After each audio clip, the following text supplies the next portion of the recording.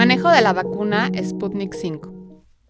La vacuna Sputnik 5 se almacena a una temperatura no superior a menos 18 grados centígrados y su vida útil bajo estas condiciones es de tres meses desde su producción.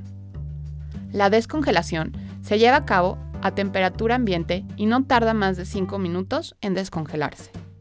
Una vez descongelada, se debe usar dentro de los primeros 120 minutos, es decir, 2 horas. No puede volver a congelarse. No se puede almacenar a temperaturas de más 2 a más 8 grados centígrados. Recuerde que esta vacuna cuenta con dos frascos diferentes, uno de tapa azul para la primera dosis y otro de tapa roja para la segunda dosis.